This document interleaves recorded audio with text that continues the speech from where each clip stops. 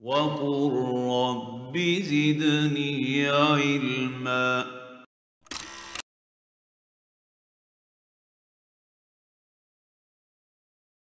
and viewers at home. Our discussion for today on this Ramadan diet series will be on these three things, which if you are the Muslim should give to them. You will be free from turbulence here in the world and torment of the hereafter.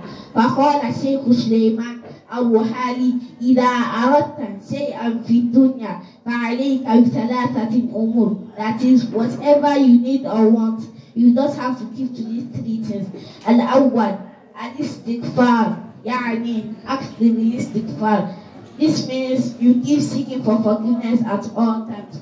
تريد الفوز والنجاة أكثر الاستغفار تريد ولدا أكثر الاستغفار تريد مالا أكثر الاستغفار. تريد الجنة ونجاة من عذاب النار.